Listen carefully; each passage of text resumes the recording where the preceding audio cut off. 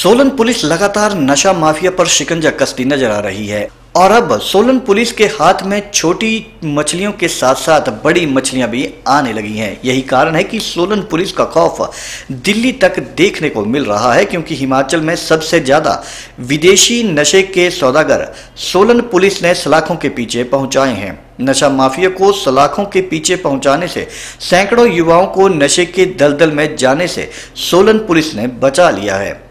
एक ताज़ा घटना में सोलन के कसौली में एक व्यक्ति पुलिस को देखकर भागने लगा। जब पुलिस ने शक के आधार पर उसे पकड़ा तो उसके पास चिट्ठा बरामद हुआ। चौंकाने वाली बात यह है कि व्यक्ति अपने आप को कसौली के जाने माने निजी स्कूल का अध्यापक बता रहा था। जब इस अध्यापक से बात की गई तो इसने बताया कि वे चिट्टे की खेप दिल्ली से ला रहा था। तो सोलन पुलिस ने जाल बिछाया और दिल्ली से एक और नाइजीरियन को धर दबोचा।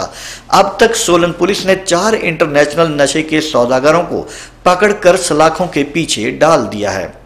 अतिरिक्त पुलिस अधीक्षक शिव कुमार ने घटना की पुष्टि करते हुए बताया कि उनके द्वारा कसौली के निजी स्कूल के एक अस्थायी अध्यापक की सेवाएँ दे रहे व्यक्ति को पुलिस ने गिरफ़्तार किया है। फ़िलहाल उससे मिली जानकारी पर नाइजीरियन नशे के सौदागर को नशे की खेप के साथ पुलिस ने दिल्ली से गिरफ़्तार करने में कामयाबी हासिल की है।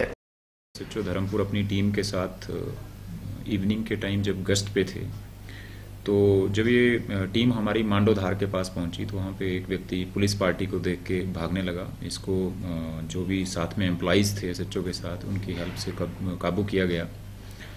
तो इसके पास एक कैरी बैग था इस व्यक्ति के पास और उस कैरी बैग को जब चेक किया गया तो उस कैरी बैग में इसके पास 30.1 ग्राम हीरोइन बरामद हुई। उसके साथ वेइंग मशीन भी थी और कुछ जले हुए नोट जो कि हीरोइन पीने में शायद इस्तेमाल होते हैं, उस तरह का कुछ मटेरियल उस कैरी बैग में था। पूछने पे इस व्यक्ति ने अपना नाम नितिन शर्मा और, नितिन शर्मा बताया, ये सनावर का रहने वाला है। इसको जो है, इस पे पुलिस ने एनडीपीएस एक्ट के तहत केस दर्ज किया और इस व्यक्ति को इस केस में गिरफ़्तार कर लिया गया। फर्दर ये इसको पुलिस रिमांड पे लिया गया था और इससे पूछताछ जो है, वो चल रही है। इस पे जो ये मटेरियल लाया था, इसके बारे में जब पूछताछ की गई तो इसने एक व्यक्ति है जिस इसने बताया कि दिल्ली से ये लाया है और एक नाइजीरियन है, इसके वर्जन के अनुसार, उससे ये खरीद के लाया है। इस पे हमारी टीम दिल्ली गई थी और एक नाइजीरियन जो इसकी कॉल डिटेल वगैरह एनालाइज की थी, उसकी हेल्प से एक व्यक्ति है, ये भी नाइजीरिया मूल का है। इसका नाम गोविन अमाडे है।